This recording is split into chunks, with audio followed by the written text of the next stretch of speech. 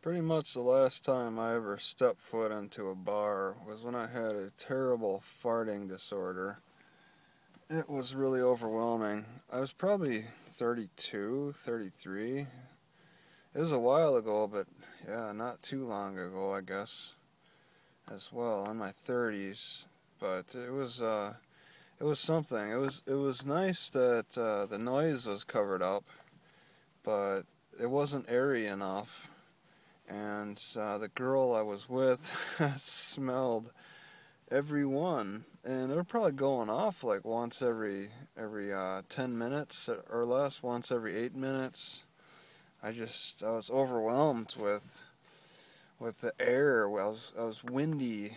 In Chinese uh, medicine, you would you you you have the condition of being windy, but uh, I didn't I didn't really want to go to the bar, especially with my farting disorder. I, I warned her. I told her, you know, I um I have this this gas problem. I've been suffering with it for weeks, it, and uh, and right now, you know, I was I was really uh, having issues. But we were talking over the phone, when when I was uh, trying to explain to her that you know my my farting is really bad. Uh, it wasn't until we, we met up at the bar and she learned uh, that I was not lying about it and that it really was a big problem because every time uh, I, I farted and and uh, she was in the draft of it, the wind draft. She was like, "Oh my goodness," you know. It was uh, it was uh, quite quite uh, quite an experience. But I, I just I had such a a problem with farting because I I, uh, I suffered this stomach disorder and um, I was trying to change up my diet to get relief. I was I had a lot of pain in my stomach. It was was causing a lot of insomnia and and just general fatigue. My I was up all night sometimes. My stomach would flutter me awake. It, it was it was a terrible terrible injury, and I was just trying to get relief. So I was uh, when, when I started really farting bad, I I was I was consuming like vegetables, a lot of fibrous vegetables, um, like the, from the frozen food section.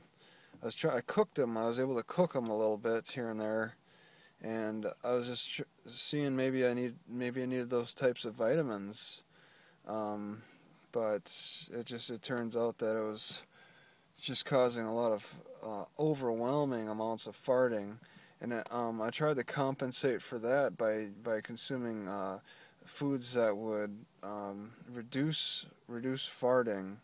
I might have tried Beano once. Nah, I wanted to stick with uh, with natural stuff. Um, so like pepper, cayenne pepper or black pepper, and uh, ginger. Um, there, there. Even um, I, I was trying uh, sauerkraut. I thought maybe the fermented cabbage would help, but all that did was cause cavities in my teeth. Um, I was I was trying all kinds of things, and it was it's really getting bad. I was I was, I was uh, trying to isolate myself, but uh, you know I I thought I I gave in. I was like, okay, maybe I could go out and fart in public a lot at, at the bar. You know, they'll everybody people won't know exactly who to blame. Um, and uh, it, will be too loud for anybody to hear and and all that. But I mean, if if I stood in one spot for too long, you know, people people will move and shuffle, and eventually uh, the, they would come to the conclusion that it's coming from maybe my general area.